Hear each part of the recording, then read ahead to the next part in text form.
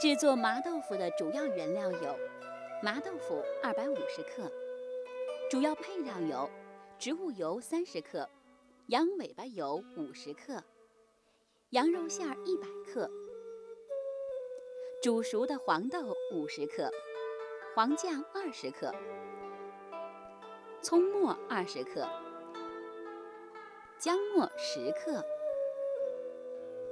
盐五克。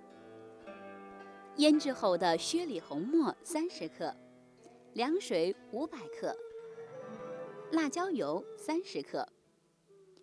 主要制作过程分为熬姜、出水、炝锅、熬锅、装盘五个步骤。把底油倒入锅中，准备炝锅。油热后，把羊尾巴油倒入锅中，开煸，直到煸熟为止。把葱和姜也陆续放入，最后把羊肉馅儿也放进去。等煸熟后，再把黄酱放进去。煸二十分钟，出了香味时，把麻豆腐放进去，用勺子打碎，开始熬锅。如果太稠，要适当的加一些水进去。